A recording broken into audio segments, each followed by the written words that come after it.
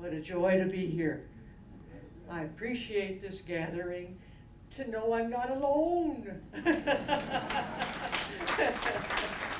it's a great privilege, and I, since 1934, when I was seven years old and diagnosed, we had never heard of diabetes. And we wanted to know is it catching?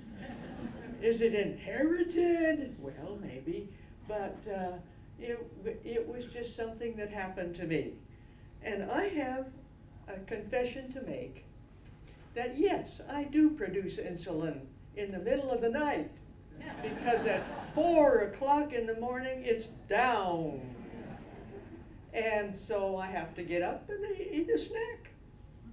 That's an interruption to my sleep. But anyway, um, because I haven't had a shot since noon, you know. So, anyway, it's been a, a privilege to be a person who survives.